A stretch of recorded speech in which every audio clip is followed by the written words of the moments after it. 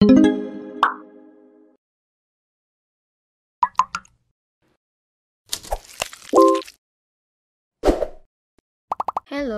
kembali lagi dengan Wasoft Channel bersama saya Frentius Melia. Pada video sebelumnya, saya sudah mereview sistem sewa lapangan futsal sederhana. Sekarang, saya akan sharing kepada teman-teman bagaimana cara menginstal Badaso menggunakan Composer. Pertama, search Badaso Docs di web browser teman-teman. Lalu klik Prerequisite yang ada pada menu sebelah kiri. Prerequisite adalah syarat yang harus teman-teman miliki sebelum menginstal Badaso. Pastikan device teman-teman telah memenuhi syarat dan tertera. Lalu kita masuk ke halaman step instalasi dan ikuti semua stepnya.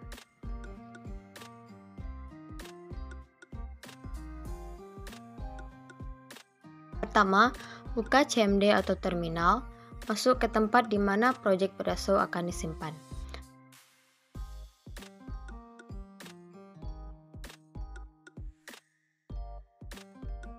Jalankan perintah berikut.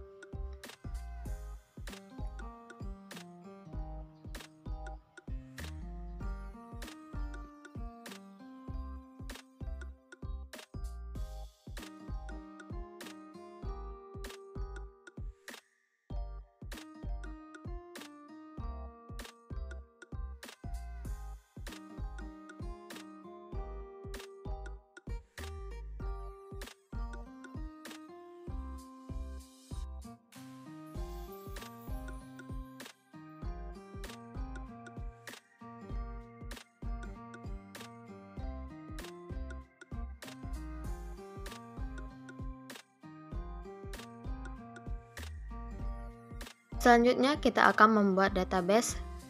Saya akan menggunakan PHP MyAdmin, kemudian buat database dengan nama futsal. Lalu masuk ke project dengan cara cd futsal. Kemudian buka VS Code dan buka project yang telah kita buat tadi. Di sini kita akan mengedit environmentnya pada bagian host, database, root, dan passwordnya. Ubah menjadi seperti berikut. Lalu buka lagi CMD atau terminal tadi. Kita akan migrate seluruh database Badaso dengan kode ini, PHP Artisan Migrate.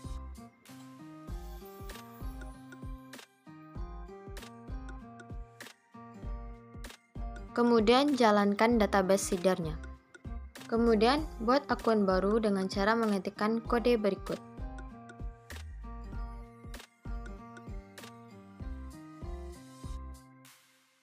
Hubungkan folder penyimpanan dengan kode berikut. Kemudian jalankan JavaScript dependency-nya.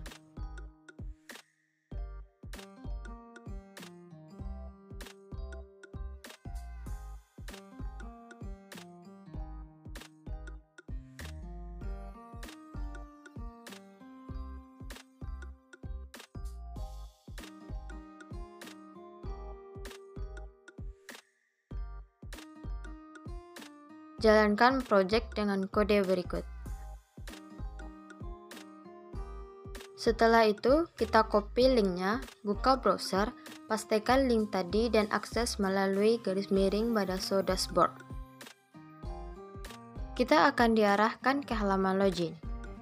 Kita bisa login menggunakan akun yang sudah kita buat tadi dengan username admin at email.com passwordnya admin jika sudah berhasil masuk ke dashboard Badaso, maka instal instalasi Badaso dengan Composer sudah selesai. Selanjutnya kita akan membuat tabel pada menu database manajemen pada video berikutnya. Oke, sekian untuk tutorial instalasi project Badaso. Jika ada pertanyaan silahkan tulis di comment section di bawah ini. Terima kasih dan sampai jumpa di video selanjutnya.